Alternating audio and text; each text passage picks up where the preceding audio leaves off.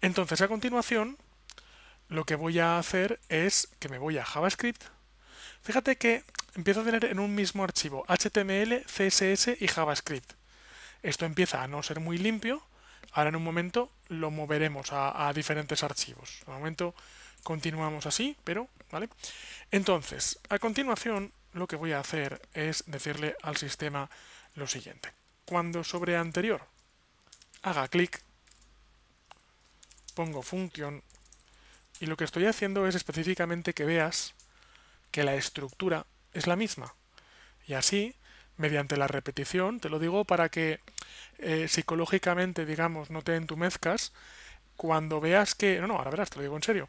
Cuando veas que ves esto y dices, sí, pero, pero no sé si luego cuando yo escriba un programa solo se lo voy a saber utilizar, pero a medida que yo lo repita y veas que la estructura es previsible, es predecible, es repetible, dirás, bueno, vale, o sea, no se aprende a programar solo. Como se suele decir en programación, a programar se aprende programando.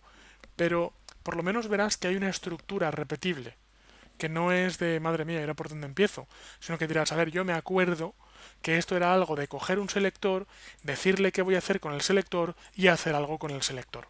Y eso un poco te servirá de ayuda y de apoyo para sentirte menos perdido cuando empieces a trabajar sobre esto. Voy a continuar ahora eh, un poco sobre el código y ahora luego voy a hacer un pequeño break de unos cuantos minutos para hablarte de aspectos psicológicos de la programación. Parece una chorrada, no, no, no, te rías, parece una chorrada, pero te aseguro que no lo es. De hecho, si hago este, este break es porque hace años no lo hacía, pero conforme veo que reaccionan los alumnos a la programación y al reto de la programación, pues suelo meter estos bloques para que cuando el alumno vea que al intentar resolver ciertas cosas se engancha en ciertas partes, pues un poco prepararlo psicológicamente, porque programar no es solo picar código, también es una, es una actividad mental humana.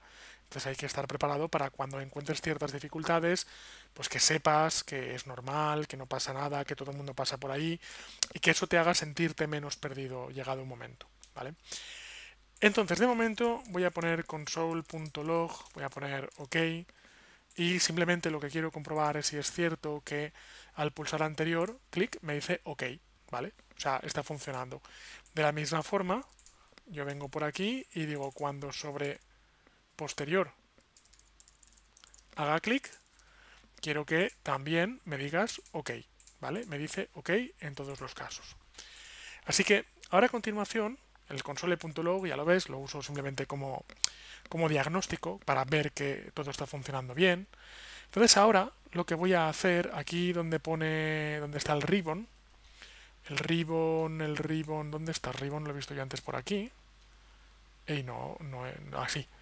¿vale? Voy a decirle position relative y le voy a decir left 0 píxeles y transition, ahora verás cómo mola, all un segundo.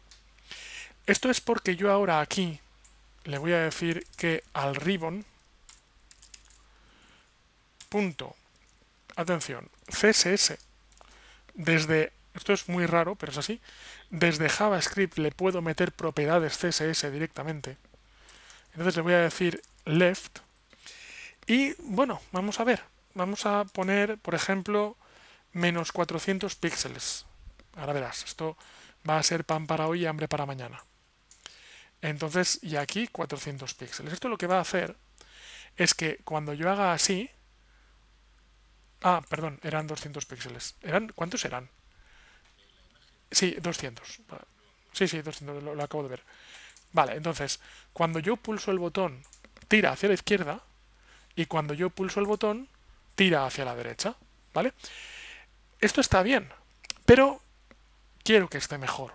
Entonces, para ello, es para lo que, como te digo, en la clase de hoy estamos aprendiendo, por ejemplo, algunas cosas nuevas pero también estamos reutilizando un montón de cosas que ya sabíamos. Esto en programación suele ocurrir y es que las primeras clases son más duras porque todo es nuevo, pero cuanto más avanzamos, más reutilizas de lo que ya sabías y te apoyas en ello para crecer, lo cual es guay. Entonces, en este caso vamos a apoyarnos en lo que ya sabemos, vamos a crear una variable llamada desfase. Desfase en castellano está asociado mucho a eh, a lo que sería pues el desfase en las fiestas, ¿vale? Pero en, términos técnicos, de hecho, en arquitectura ocurre igual, es que el desfase es la línea que contornea un objeto. Pues el desfase es esto, es digamos un paralaje con respecto a un valor inicial. Entonces voy a empezar diciendo que desfase es igual a cero. Y entonces lo que voy a decir es que cuando punto anterior voy a decir desfase menos menos, o sea, quítale un valor a desfase y desfase más más, lo que quiere decir súmale un valor a desfase. Con esto, lo que hago ahora es aquí donde pone el píxel, conecto y digo desfase por 200 más píxeles. Entonces yo ahora vengo aquí, copio esto y fíjate que esto lo que va a hacer es que progresivamente va a disminuir, insisto, progresivamente valores o va a aumentar progresivamente valores.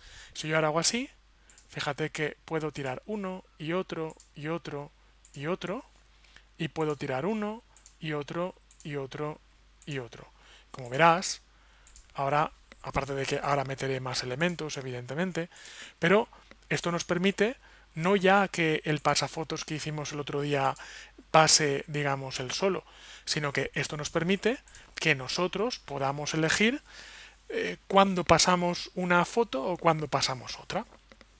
Fíjate que en un momento, de repente, tenemos como una especie de filas donde yo puedo elegir, eh, digamos, qué trozo quiero ver. Pero a la continuación el ejercicio se va a complicar. Vamos a por ello.